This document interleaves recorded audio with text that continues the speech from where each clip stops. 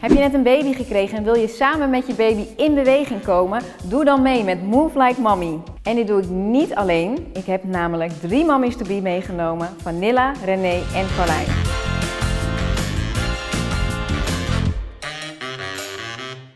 Dus zet een lekker muziekje op, pak je baby erbij, dan gaan we starten. Nou, deze oefening moet natuurlijk ook gewoon vooral fun zijn. Hè? Je bent aan het verbinden met je kleintje en daar gaat het om. En zorg er ook wel goed voor dat je het nekje goed ondersteunt en dat je dit pas doet als het nekje stevig is. Beweeg je kindje omhoog terwijl je hem of haar liefdevol aankijkt.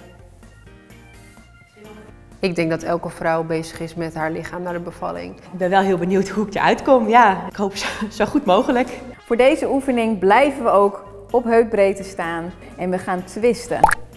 Van de een naar de andere kant. Links, rechts. Blijf vooral goed voelen wat goed voor jou voelt en natuurlijk voor de baby. En maak er gewoon een, echt een heel fijn momentje van samen. Nee, social media beïnvloedt me niet door, uh, door hoe snel ik weer in shape moet zijn na een bevalling. Ik merk dat ik het helemaal loslaat. Mijn tijgerstrepen die mogen er zijn.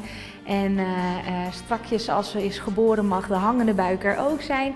En dan zie ik daarna wel weer of ik wel uh, redelijk back in shape kom. En zo niet, dan niet. We gaan nu een hele fijne oefening doen voor de benen en de billen, namelijk de squat. Sla één arm heen om haar of zijn buikje en het andere onder het kontje. Ga met je rug recht in een squatpositie staan. Zet de spanning op de benen heel goed en kom omhoog. Houd die spanning op de benen.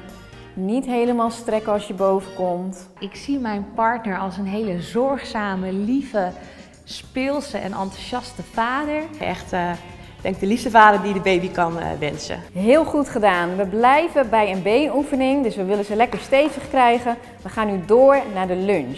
Zet één been voor en de andere been achter. Hou je kindje weer lekker tegen je aan en zak dan door je achterste knie naar beneden. Houd je rug recht en ga weer omhoog. Adem in. Zijn rol in de bevalling is, is uh, me aanmoedigen, trots op me zijn. Mijn hand vasthouden. uh, ik weet niet of hij het heel erg spannend vindt. Nee, mijn partner vindt het minder spannend dan ik. Hij raakt niet in paniek, denk ik. We hebben het ook al over flauwvallen gehad.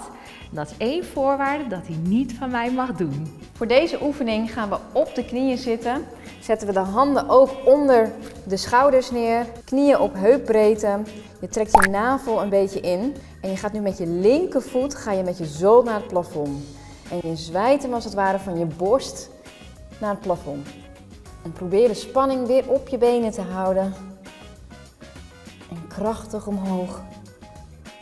Ik denk dat ik over het algemeen wel een makkelijke moeder ben, word. Mijn moeder was in ieder geval heel betrokken, heel speels.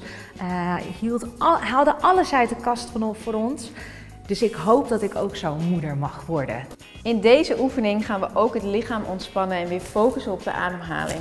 Dus je gaat in deze positie zitten en je zet je armen voor je neer en je kruipt eigenlijk naar voren terwijl je je naar beneden brengt met je ademhaling.